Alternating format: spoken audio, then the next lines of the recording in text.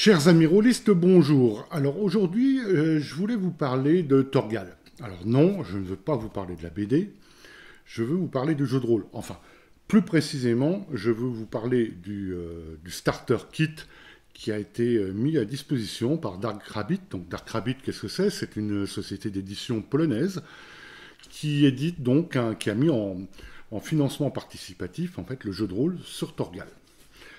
Alors, euh, donc en fait d'habitude je ne fais pas de critique sur les, euh, euh, les, starter kits, mais la curiosité m'a poussé à aller voir en fait ce qui en retournait. Alors déjà, pardon, déjà pour commencer, donc ce starter kit est disponible gratuitement, je vous mettrai le lien en dessous.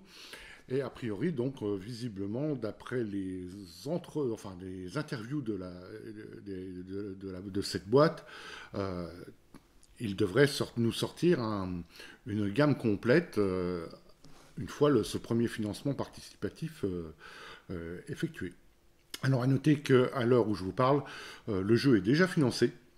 Hein. il va sortir à la fois en langue française et en langue anglaise. Alors en sachant qu'au départ, il est écrit en polonais, hein, et donc il est traduit en anglais et traduit en français. Il n'est pas écrit euh, directement en français.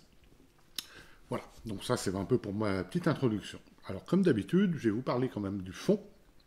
Enfin avant de vous parler du fond, je vais vous parler de la forme. Alors on se retrouve face à un PDF qui, ma foi, euh, je le trouve de bonne facture. Au niveau, euh, il est aéré, le texte aéré, c'est sur deux colonnes, c'est propre. Euh, on a un onglet sur le côté qui nous rappelle les différents euh, chapitres euh, de ce, starter kit. On se retrouve effectivement avec une petite aventure et avec des héros prétirés. Donc jusque-là, moi, je ne vois pas de souci.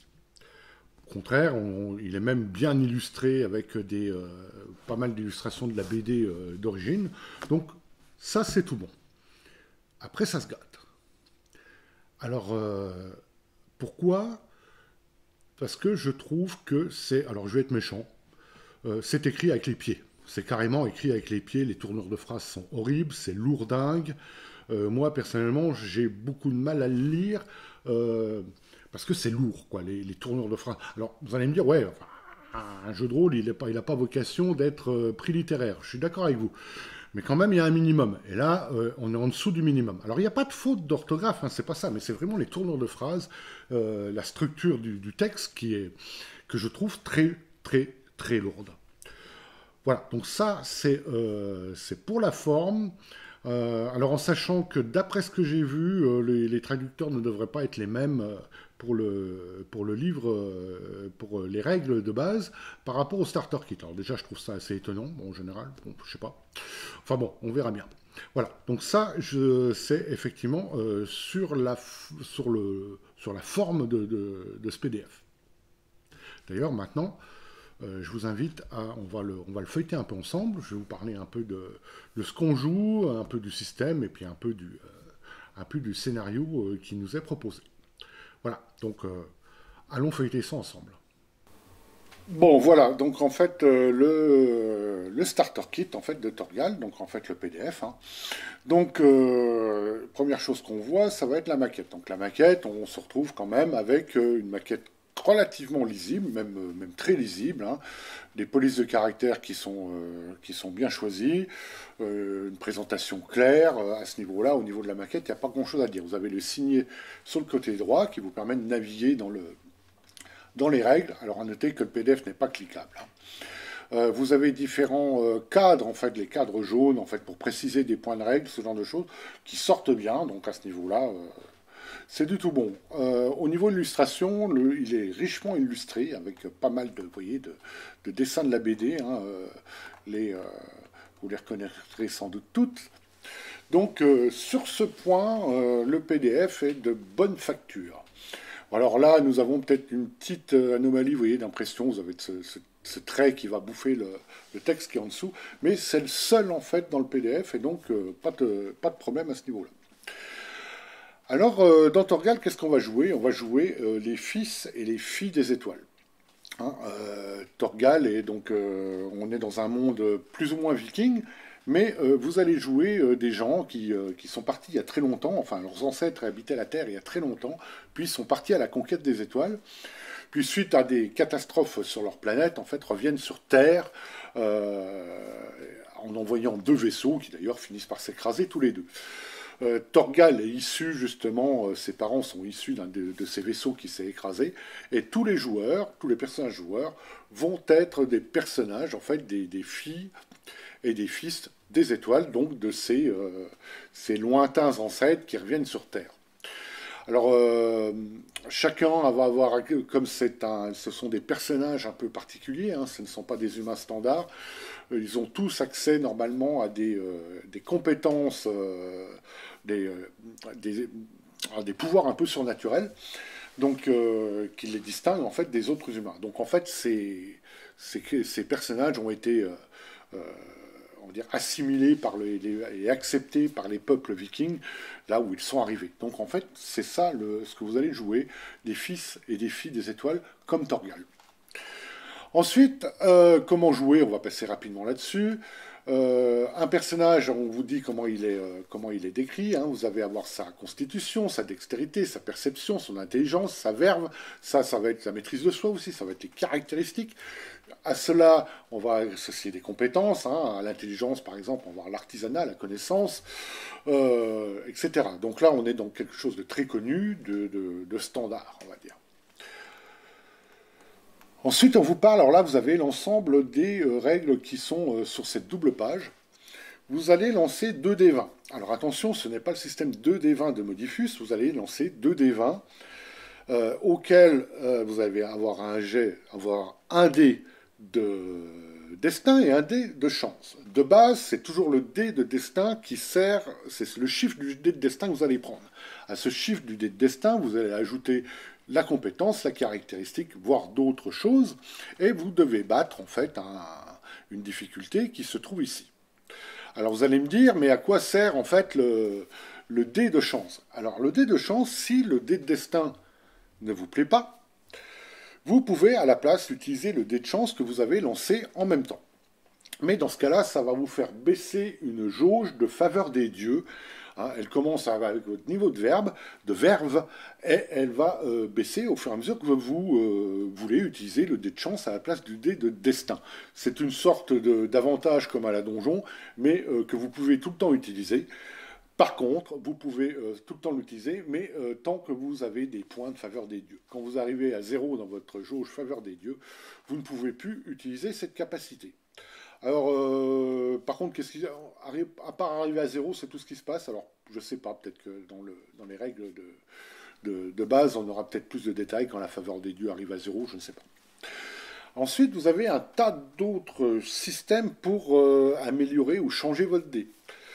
Vous avez ce qu'ils appellent les modificateurs. Alors, vous avez un chiffre de modificateur à la création de votre personnage. Là, on vous donne l'exemple. Vous avez trois de modificateurs j'aime pas les termes, hein, c'est pas bien, euh, c'est pas bien pris. Donc c'est trois de modificateurs. La première fois que vous utilisez le modificateur, vous ajoutez 3 à votre dé. La deuxième fois que vous l'utilisez, vous ajoutez 2. La troisième fois que vous l'utilisez, vous ajoutez 1. Et après, vous avez 0. Vous avez également la possibilité de relancer des dés si vous avez une compétence euh, associée. Alors ça, je ne l'ai pas trop vu ailleurs dans le, dans le PDF. Je ne sais pas où c'est. Je ne sais pas si c'est une erreur ou pas. Euh, je n'ai pas trouvé. Vous avez ce qu'ils appellent le doublé. Alors le doublé, c'est quand vous faites un double sur euh, le dé de chance et euh, le dé de destin. Quand les deux chiffres sont égaux, en plus d'ajouter la compétence et la caractéristique, vous allez ajouter en fait la caractéristique et deux fois la compétence, hein, ou deux de caractéristique plus compétence. Ensuite, vous avez la malchance. Si vous faites 1 sur le dé de, de destin, bah, c'est un fumble. Si vous faites 20, c'est un critique. Voilà. En gros, vous avez un peu euh, tout le système. Euh, alors moi je trouve que tous ces petits sous-systèmes, faveur des dieux, modificateurs, relance, doublé, malchance, critique, ça fait beaucoup de choses, euh, peut-être à la fin pour ne pas obtenir quelque chose de... Je sais pas. Moi, ça me fait, je trouve que ça fait beaucoup, beaucoup de choses pour pas, euh, pour un effet, ma foi, relativement simple quoi derrière. Bon, à voir après en, jeu. Hein, c'est mon avis à la lecture. Donc là, on va vous expliquer euh, sur trois pages le monde de Torgal, les Vikings, ce que je vous disais un peu tout à l'heure. Hein. donc euh, ça vous permet de rentrer tout de suite dans le, dans le scénario qui est proposé. D'ailleurs, à propos du scénario qui est proposé, on y arrive avec les personnages. Hein. vous avez des pré-tirés. Il y en a cinq. Et là, euh, vous avez qui représentent en fait, qui, sont de cinq classes différentes. Hein. la classe de viking, de l'archer, du lagman, du berserker et de l'aventurier. Alors, euh, visiblement, dans le livre de base, il y aura plus que cinq classes, mais c'est ceux qu'on a dans le starter pour jouer le scénario de base. Et donc à chaque fois, on vous décrit donc un peu le Langman. Qu'est-ce que c'est le Langman Donc là, par exemple, c'est connu sous le nom de porteur des lois. Je ne vais pas tout vous lire, mais voilà. Et après, vous avez là, par exemple, Pyrrha, c'est le personnage, c'est le pré-tiré euh, pour jouer le scénario. Et à chaque fois, on va vous donner son, ces deux avantages qu'il a. Hein. Chaque personnage va avoir deux avantages et pour le et en fait les pouvoirs des Atlantes, hein, comme je vous ai dit tout à l'heure, vous jouez tous euh, euh, des, des, fils des étoiles et vous avez des pouvoirs un peu surnaturels, genre euh, vision des jours passés, cure de poison. C'est bizarre hein, comme terme, hein. mais c'est rempli comme ça. Le PDF est assez bizarre à ce niveau-là. Guérison, dissipation de puissance. Voilà. Alors à noter quand même, vous voyez ici, vous trouvez les caractéristiques du viking. Donc là, on prend le viking. Hein, on vous explique Medios, qu'est-ce que c'est, et à la fin, on vous dit, bah, pour les pouvoirs des Atlantes des Vikings, allez, page 17. Alors, page 17, j'y retourne, eh ben, il n'y a que Puig. On parle du Lagman et pas du Viking. Donc, je suppose que ce terme, c'est un terme, c'est une coquille, et normalement, ça devrait être Viking. Alors, ça, ça me gêne un peu, parce que moi, j'estime que dans un PDF qui est censé être la vitrine d'un jeu, euh, j'aime bien quand même avoir un PDF qui est nickel. Et là, c'est pas le cas, c'est un peu embêtant. Mais si avec ça, ce serait pas le souci, hein, c'est vraiment la lourdeur des, termes, comme je vous l'ai dit euh, plus loin. Donc vous avez le berserker. Alors encore une chose, berserker, archer. Euh, qu'est-ce qu'on a d'autre? L'aventurier. Et là, tout ça, bah, c'est bien beau, mais dans, partout dans la règle, on vous dit vous avez les pouvoirs spéciaux, mais à part pour le Langman et le Viking, que Puig. Il n'y a pas d'autres pouvoirs pour le. Vous voyez, euh, on ne vous parle pas des pouvoirs des Atlantes euh, pour euh, l'aventurier, par exemple. Alors, est-ce que c'est normal ou pas? Je ne sais pas trop. voilà. En tout cas, on n'est là que pour deux classes. On vous explique comment mener le jeu. Bon, là, on arrive un peu dans le, dans le truc un peu standard de tous les jeux de rôle. Hein. Comment mener le jeu de rôle, la partie. Bon, ok. Non, ce qui est intéressant, c'est Melkora. Melkora qui est le, qui est le scénario en fait d'introduction, qui lui est pas mal foutu. Pourquoi? Parce qu'il vous met vraiment dans l'ambiance de Torgal. Hein, euh, là, par exemple, donc euh, spoiler alerte, hein, euh, si vous, je vais vous dire un peu le contenu de la chose. vous êtes donc dans un, un village viking. des enfants du village sont enlevés par un espèce de monstre.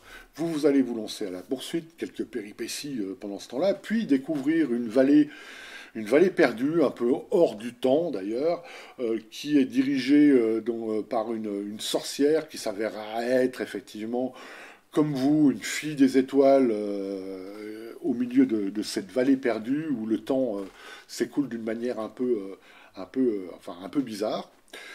Et là, on est pile poil en fait dans les aventures de Torgal, pile poil dans les aventures des BD. Euh, on est bien dans le thème, donc ça c'est très bien, ça ça m'a bien plu. Manque peut-être un peu plus de description au niveau de la vallée, il n'y a pas de carte, ce genre de choses. Mais à part ça, c'est du tout bon. Moi, je trouve qu'en scénar d'introduction au monde de Torgal, euh, pour faire euh, jouer des fans de la BD, eh ben, ça remplit son office. On peut découvrir à la fin, on vous parle à la fin de temps d'arrêt. Alors le temps d'arrêt, qu'est-ce que c'est? C'est le temps qui s'écoule entre deux, parties, on va dire. Et là, on découvre quelque chose euh, qu'on va certainement avoir dans le core book, c'est-à-dire euh, une base à développer, comme dans d'autres autres jeux. Là, la base à développer, ça va être votre village. Hein. vous allez pouvoir monter ses défenses, vous allez pouvoir construire une auberge, etc., etc. Donc, vous allez avoir une sorte de, jeu dans le jeu pour développer votre village euh, au fil des parties que vous allez jouer. Bon, voilà. ici, nous avons le bestiaire. Alors, c'est le bestiaire qui concerne le scénario. D'ailleurs, en fait, euh, je, viens vous expliquer un peu le système de combat parce qu'on l'a ici. Enfin, avec les caractéristiques, par exemple, du bandit sauvage. En fait, vous allez lancer 2 d 20 plus un certain nombre de. une compétence, une caractéristique, enfin ce genre de choses. Et vous devez euh, battre la défense de votre adversaire pour le toucher. Donc là, il est ici. Il a 22. Quand vous touchez, vous infligez, donc là c'est une hache, 10 plus un des 10 de dégâts. À ce résultat, vous allez soustraire l'armure et une fois que vous avez fait tout ça, vous le soustrayez à la vitalité euh, du bandit, en l'occurrence, là, qui a 15 points de vie, grosso modo. Et quand il arrive à 0, il est éliminé. Alors vous voyez, s'il n'y a pas d'armure, 10 plus 1 des 10, ça risque de gicler très rapidement. 10 hein. plus 1 des 10, si vous, faites 15, si vous faites un 5 ou plus, le bandit est HS. Voilà. Euh, c'est un peu pour vous montrer euh, les, ratios de, force. Hein. Bon, euh, les, personnages, là vous avez par exemple le troll. Le troll, par contre, il a 80 points de vie. Quoi. Vous voyez, c'est pas la même chose. Hein. Et à la fin, vous avez un résumé des règles, hein, un peu plus détaillé que les deux pages. on vous parle un peu du combat. Donc vous voyez, par exemple, pour le combat, qu'est-ce qu'on a? Constitution plus compétence de combat brutal plus précision plus lancer de D20. Ou alors, constitution plus compétence de combat subtil plus précision plus lancer de, de D20, ou alors constitution plus compétence de corps à corps plus précision plus lancer de D20. Alors mine de rien, à chaque fois, c'est 1, 2, 3, 4 chiffres additionnés. Euh, tout ça pour euh, simplement arriver à battre la défense de votre adversaire. Hein.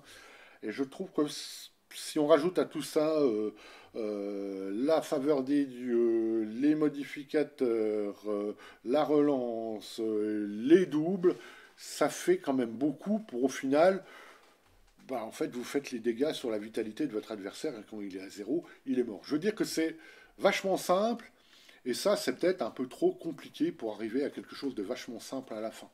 Bon, à en jeu, hein, ça doit fonctionner, mais c'est peut-être un peu compliqué pour pas grand-chose, à mon avis. Euh, quand vous faites un critique, ben voilà, vous additionnez, vous avez, il y a deux effets qui s'appliquent. Perforation, vous réduisez l'armure de moitié. Chance de plus de dégâts, vous allez lancer des dégâts en plus. Vous avez des trucs sur le combat à distance. Alors les déplacements, vous n'avez pas joué en fait sur une, battle map avec des cases ou des hexagones. Non, là vous avez des distances abstraites. Donc quand vous êtes au combat, c'est la mêlée. Quand vous êtes en distance proche, puis moyenne, puis longue, puis extrême. Vous allez pouvoir réduire la distance en vous déplaçant vers un adversaire, etc. Alors moi, personnellement, euh, j'aime bien d'avoir des distances abstraites. Euh, les battle maps, c'est sympa pour mettre des belles figurines, mais dans les faits, en fait, ça marche aussi bien. Enfin, moi, c'est un système que je préfère. Donc, euh, à ce niveau-là, moi, j'ai pas pas de problème avec ça. la vitalité d'un personnage. Hein, donc, lui, quand il tombe à zéro, le personnage est, inconscient. Il n'est pas mort automatiquement. Hein, c'est un héros quand même. Il faut pas déconner. Et donc voilà. Donc voilà un peu le le, système, et on termine par les pouvoirs surnaturels qui, qui se. Donc c'est le pouvoir de Lagman que je vous ai montré tout à l'heure, Lagman et Viking, les autres, je ne sais pas trop, comme je disais, c'est un peu étonnant. Donc vous avez, une, vous avez la concentration à laquelle vous allez déduire des points euh, que vous coûtent en fait votre, euh, vos pouvoirs un peu surnaturels. Donc, euh, pour pouvoir les déclencher. Alors vous allez me dire, mon frère nous a dit que les tournures de phrases étaient horribles. Finalement, sans parler de ça. Alors le problème, c'est que voilà. En fait, je vais vous donner un exemple, et ça, on l'a beaucoup, on l'a plein de fois dans le PDF. Je vous lis la phrase. Chaque pouvoir a un niveau de difficulté spécifique qui doit être atteint avant qu'il puisse être utilisé. Et si vous parvenez à lancer plus que nécessaire, rien n'est perdu. Alors là, je me suis dit, mais pourquoi rien n'est perdu? J'ai fait plus, donc j'ai réussi. Pourquoi rien n'est perdu? Ben non, rien n'est perdu, j'ai gagné. Et en fait, j'ai compris après que le rien n'est perdu, ça veut dire que les chiffres que vous avez fait au-dessus ne sont pas perdus, ils n'ont pas été faits pour rien. Vous allez pouvoir les utiliser pour améliorer l'action. Euh, alors, on n'est pas dans le prix littéraire, mais euh, c'est lourd comme. Euh, je pourrais vous en trouver des autres. Il y en a, il y en a plein. Il y a plein d'exemples comme ça dans, le, dans le PDF. Moi, je trouve que le style est vachement lourd c'est un peu mon, reproche, c'est vraiment mon reproche en fait euh, à ce starter kit de Torgal. Et donc on arrive à la fin du PDF. Hein, euh. On est arrivé au bout hein, euh, du PDF. Voilà, donc en fait, je vais passer à ma petite conclusion. Voilà, on a fait le tour du PDF. ma petite conclusion maintenant. Alors, que penser de tout ça? Alors, comme je disais, il y a du, il y y a du bon, hein, indéniablement du bon au niveau, euh, au niveau de la présentation, au niveau du, au niveau du monde, de ce qu'on va jouer. Hein. on joue les Fils des Étoiles, tout ça, donc ça c'est comme Torgal. Donc ça ouvre, euh, ouvre quand même des possibilités scénaristiques. Le scénar, justement, euh, est vraiment dans l'ambiance en fait de Torgal. Hein. on a des, enfants, des enfants enlevés, un voyage, une vallée perdue où un peu en dehors du temps, avec une espèce de sorcière, un monstre, enfin bon, on est pile poil dans les aventures de Torgal. Ça, c'est très très bien. Alors, le système en lui-même, je le trouve un poil compliqué pour pas grand-chose. Hein, ces espèces d'avantages, hein, c'est un, peu, un peu comme l'avantage de donjon, mais qu'on ne peut utiliser qui que ce soit, parce qu'on a une jauge, plus une autre, d'autres manières de pouvoir relancer les dés, avec une autre, éventuellement des capacités spéciales. Euh, bref, il y a un tas de sous-systèmes comme ça, qui à mon avis compliquent pas mal le jeu pour pas grand-chose à ce niveau-là. Euh, bon, euh, il doit faire le taf, hein, à mon avis, il n'y a pas de problème, mais je pense qu'il y avait moyen de faire, de faire plus simple. Et le gros point noir, pour moi, c'est effectivement euh, l'écriture. Quoi. Pour moi, l'écriture, euh, ça a été écrit avec des savates. Quoi. Hein. Euh, c'est, pas bon. Pour moi, c'est pas bon.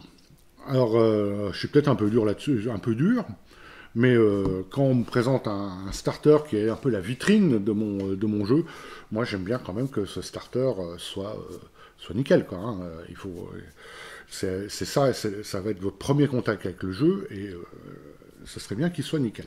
Enfin, je ne sais pas qui s'est chargé de la relecture, mais franchement, c'est pas top. Euh, voilà, alors du coup, euh, alors ce qui avait été dit dans un entretien sur le fixe, c'était que le, les traducteurs, enfin les traducteurs qui ont traduit le Starter Kit étaient des traducteurs professionnels polonais, très bien. Euh, alors euh, effectivement, il n'y a pas de faute, hein, comme je vous ai dit, donc euh, la traduction à ce niveau-là, ok, mais alors par contre, on voit que ce ne sont pas des littéraires, hein, ça c'est clair. Autre chose, donc en fait, la traduction du livre de base ne devrait pas être traduite par la même équipe qui a traduit le Starter Kit. Sans doute une question de timing, je suppose. alors j'espère que ce sera nettement mieux. Le problème, c'est que là, moi, je ne suis pas, comment dire, je ne suis pas rassuré à ce que avec ce premier contact. Voilà. Alors, est-ce que euh, j'ai pledgé euh, La réponse est non. Non, je n'ai pas pledgé ce jeu, bien que j'aime beaucoup l'univers. Euh, je vais voir quand il sort. Là, pour l'instant, moi, c'est pas, il y, a des trucs, il y a trop de trucs qui, ne me plaisent pas pour, pour pouvoir pledger dès maintenant. Donc on verra bien sa sortie boutique et puis on verra bien ce que ça donne. Voilà, en tout cas, ça, c'est mon avis sur le starter de Torgal, donc un jeu de rôle édité par Dark Rabbit, euh, qui est encore en cours de financement, hein, il se termine dans quelques jours. Euh, il est déjà financé d'ailleurs. Euh, sera-t-il distribué dans les boutiques? Il n'y a aucune, aucune indication dans ce sens, mais bon, je suppose que oui. Enfin voilà. Voilà ce que je peux vous dire aujourd'hui sur Torgal, le PDF du Starter Kit.